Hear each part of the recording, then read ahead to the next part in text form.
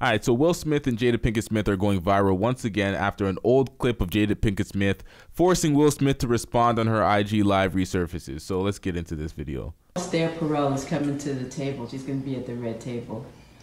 Would you say she has been instrumental in you and I redefining our relationship? I would say don't just start filming me without asking me Oh my goodness. if you could film me. Esther, come help us again, please.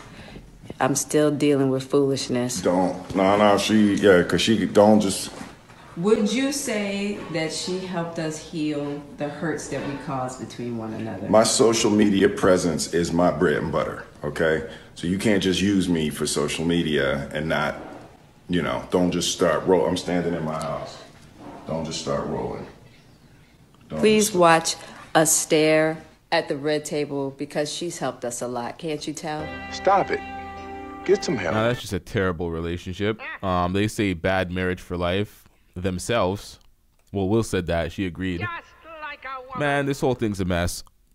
Everybody in the comment section of these videos are feeling sorry for Will, but Will chooses to stay in this mess. Jesus Christ. This is just an all-around bad relationship. At this point, a lot of people are feeling sorry for Will, but crying to me, and I'm not having that. All right, so that's not all that's coming out when it comes to Will and Jada. There's also this statement coming out from the Daily Mail where Jada Pinkett Smith wishes Will didn't get physical with Chris Rock. Couple are in agreement he overreacted in his violent Oscars outburst as Whoopi Goldberg insists his career will recover and he'll be back. So, this is coming out of the Daily Mail reporting that Jada Pinkett Smith says that she does not condone Will Smith's acts at the Oscars. What? So not only is that old video resurfacing, these comments are making a lot of headlines. And it's like she should have said no comment. You're done. If you have nothing to say that can help protect your husband and his career in that instance, no comment. But nope.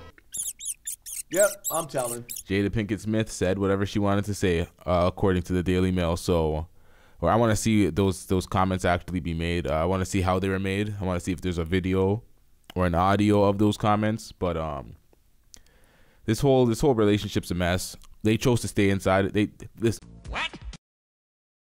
Will chose to stay with uh, Jada. Beta.